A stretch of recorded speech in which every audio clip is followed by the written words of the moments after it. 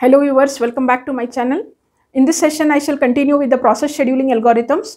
So, the next in the list is round robin scheduling. Before I start the session, I request my viewers to like, share and subscribe to my channel. So, before I start with the numerical here, let me explain you the logic for this round robin algorithm. The criteria is a different criteria here. Previously, you have seen the criteria as the arrival time and next in the next algorithm SRTN, you have seen the criteria as the burst time. Here, the criteria is time quantum. Time quantum is the number of units assigned by the system to a process to get scheduled. So, here the logic is what let all the processes get scheduled for equal amount of time after they arrive. Look here, after they arrive into the ready queue, let them get scheduled for equal amount of time. That equal, whatever is the time assigned in, for that particular situation is called as the time quantum. Suppose in the numerical, if it is mentioned time quantum is equal to 2 units, then you have to schedule a process only for 2 units, preempt, schedule the next process if it has arrived, only for 2 units, schedule the next process, preempt. So, this way you have to carry out this particular algorithm. If the burst time of a process is lesser than time quantum, then it will complete its job in one go. Suppose sir, if I have to tell you in simpler words, let us take the burst time of a process as 6 units. Then if the time quantum given is 2 units, then the process will complete, will be scheduled only for 2 units and its remaining is how much 4 units is still pending. So when its turn come again, it will try to get scheduled for the next 2 units. Then once again what will happen, no, the remaining units are kept track and when it turn comes again for the third time, it will complete its job. So if the time quantum unit is given as 2 units, it is completing at in 3 stages its task. Suppose if the time quantum given in the problem is 3 units, then 3 and 3. It will complete its job in 2 stages only. So depending on the time quantum, you have to schedule that process for that much time only. If the time quantum value is, uh, if the burst time value is lesser than the time quantum, then there is no problem. It will get scheduled and it will complete its job in the first stage itself.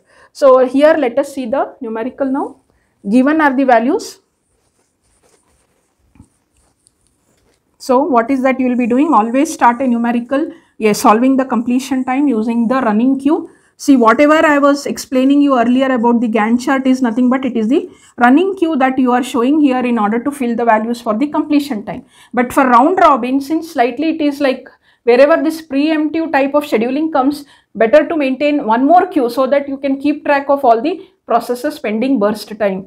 What you can do is you just I'll start maintaining another queue here and this queue is called as the ready queue. So let me maintain ready queue also for this round robin. Earlier it was only what? The running queue.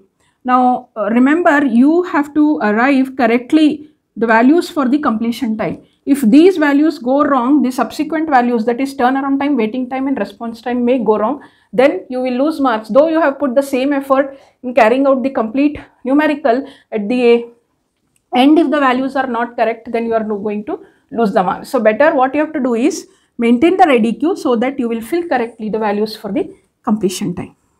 Let us start the arrival time 0, fine. Process P1 has arrived, schedule the process P1. See for this numerical already, uh, yeah, I have to give you this one complete information they have given in the numerical. The question is consider four processes P1, P2, P3, P4 with the time quantum given value is how much 2 units. Look here it is mentioned in the problem. Time quantum is 2 units and you are asked to find out turnaround time, average turnaround time, average waiting time or average or they may ask you just find turnaround time, waiting time and response time for each of the processes. Anyway, these things are not difficult. You can find out the average also very easily. So, what we have to do is, once this kind of question is asked, given will be arrival time and burst time, start like this.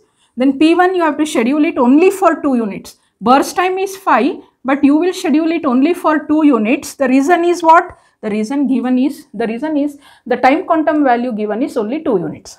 So the pending burst time is 3. So in the ready queue, first P1 was there. So I'll start like this also. In P uh, for the ready queue, what no P1 was there. Okay, that P1 only I have picked from the ready queue. I have scheduled it only for 2 units. Now at time 2, I'll check are there any processes that has arrived in the ready queue. Look here, At time 2, at time 1 also there is one process arrived, at time 2 also another. P2 and P3 have arrived. So I'll put them in the ready queue. P2 and P3 have arrived. At this point what you have to do is remember that P1 has not completed its task. It is still having 3 units of time pending. So P1 turn will come again. So here you have to be a bit careful. When will you write the pending process? The pending process will be written. First check at the value here. If the value here is 2, okay, whatever, definitely it will be 2 only because time quantum. At time 2, which are the, by time 2, which are the processes that have arrived. In this case, you can see P2 and P3 has arrived. P2 and P3 has arrived by time 2. So those two processes immediately you put in the ready queue. And then you don't forget to put this P1 also because P1 has still not completed its job. Now you pick the processes from the ready queue and put it in the running queue. P2 you take, so I'll put like this since I have picked already P2. P2 also I'll just schedule it only for 2 units. P2 has got how much? 4. So I'll schedule it only for 2 units. Still it's 2 units. Now here don't put P2 immediately. At time 4 you check are there any processes that have arrived in the ready queue? Yes. At time 4 P4 has come in the ready. So P4 you put in the ready queue. Then you have to also put the pending process which was P2 is still incomplete. So you put there in the ready queue so that you will not forget that you have to schedule that process also again. So that way only this ready queue will help you. Then P3 you take next from the ready queue. Once if you start placing these processes properly, it is easy for you to pick and put in the running queue. P3 you will start. P3 is, uh, how much is the burst time? 0, it will end at 0. Fine. So after this at time 6 no need to check because the maximum value here is 4. We have checked here. P3 uh, burst time was 6. Yeah, P3 burst time was 2. It got executed for 2 units of time. It has completed its job also. No need to worry in future for P3. Okay. So P3 is over. Next in the ready queue is P1. Put here P1. P1 remaining time is how much? 2. Okay you uh, remaining time is 3 you will schedule it for 2 unit uh, you will schedule it for 2 units and the pending time will be 1 so p1 will get. So p1 has not completed now. And you don't have to check once again whether are there any processes. Just see if p1 has not completed then you have to remember to put in the ready queue that p1 will come again. So i'll place p1 in the ready queue so this one whichever i had written here 6 to 8 this i have completed Next, I will take P4 from the ready queue. Okay, P4 is here. P4 has got only one unit of burst time. So, it will become 0. You have taken P4, it will end its job at 9. Next is P2. P2 has got how many? Only remaining units is 2. It will become 0. So, 11. Then P1 is remaining here. P1 has got only one unit of time pending. So, you will write P1 and it will end its job at 12. So what is that you have done from the ready queue previous step you have picked the P2 9 to 11 after that you have picked P1 from 11 to 12. So this way for you the ready queue will help you in placing correctly the processes in the running queue also and also to keep track of the pending burst time. So this process is the way in which you are scheduling we call it as round robin the processes come first. See once again they may get the time. P1 p1 is appearing here. P1 is appearing here in the ready queue. In a round robin fashion it works. So once you are done with this your maximum job is over now. Because if these values are correct you can fill very easily the completion time.